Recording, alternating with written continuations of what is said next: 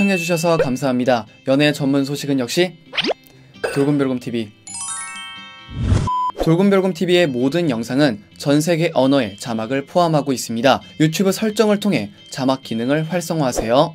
안녕하세요. 돌곰별곰TV의 별곰입니다. 자, 이번 시간에는 방탄소년단 지민에 대한 소식을 전해드리도록 하겠습니다. 자, 먼저 첫 번째 소식입니다. 방탄소년단 지민이 자신의 캐릭터 치미 애니메이션을 보고 감동을 했습니다. 지난 9일 BT21 공식 유튜브 채널에는 BT21 universe 애니메이션이라는 글과 함께 영상이 올라왔습니다. 공개된 영상 속 멤버들은 자신들이 직접 만든 7개의 캐릭터의 애니메이션을 감상했는데요. 멤버들은 캐릭터들의 스토리를 보며 시종일관 폭풍 리액션으로 화기애애하고 즐거워했습니다. 그 중에서도 노란 강아지를 연상케 하는 캐릭터 치미의 스토리가 시선을 사로잡았습니다. 치미의 깜찍한 비주얼에 멤버들은 연신 귀엽다고 말을 했는데요. 진짜 너무 귀엽죠 치미. 애니메이션 속 치미는 낡은 상자에 하모니카와 함께 버려졌습니다. 외로운 환경 속에서도 항상 해맑게 웃으며 하모니카를 불었습니다. 치미는 홀로 공원 쓰레기통을 뒤졌는데요. 이를 본 지민은 치미야 그러지 마라. 우리 아무리 힘들고 그래도 쓰레기통은 아니었잖아. 너무 짠하잖아. 라고 말을 했습니다. 여러분,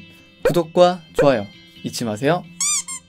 이후 치미는 친구가 나타나 하모니카 연주에 박수를 보내주었고 치미가 처음으로 행복한 눈물을 보였습니다. 친구가 생긴 치미를 본 지민은 치미가 너무 귀엽다는 듯 환한 미소를 지어 시선을 사로잡았습니다. 자 이어서 두 번째 소식입니다. 지미 팰런이 지민의 캐릭터 치미 후드티를 입고 집콕 비트박스 코믹 영상을 공개하며 화제가 되었습니다. 앞서 지미 팰런은 지민의 열혈 팬으로 유명합니다. 지미 팰런과 지민의 브로맨스 인연은 지난 2018년 방탄소년 소년단이 NBC 더 투나잇 쇼에 출연했을 당시부터 현재까지 이어오고 있습니다. 지미 팰런은 지민의 캐릭터인 치미 머리띠를 하고 쇼에 나와 BTS를 맞이하기도 했으며 본인의 SNS를 통해 치미 의상을 입고 지민의 생일을 축하하거나 지민은 나의 친구, 내 최애라며 우정을 과시했습니다. 또한 지민의 솔로곡인 약속과 치미 시계 홍보 등 꾸준한 관심과 애정을 보였습니다. 최근 지미 팰런은 방탄소년단이 정규 4집 앨범으로 더 투나잇 쇼에 초대가 되어 미국 센트럴 터미널에서 타이틀곡 ON을 한국 가수 최초로 공연하기도 했으며 지하철 인터뷰에서 각종 코너에 참여를 했습니다. 이를 통해 지미 팰런은 다시 한번 지민과의 케미를 보여주기도 했으며 두 사람의 이름이 전 세계 실트에 오르기도 했었습니다. 지민의 효과 덕분인지 치미의 인기도 정말 전 세계적으로 엄청납니다. 월드스타입니다. 치미도. 자 어쨌든 크게 화제가 되었던 방탄소년단 지민에 대한 소식을 전해드려 봤습니다. 여기서 잠깐 여러분들의 최애 연예인분들이나 각종 정보 기사 등을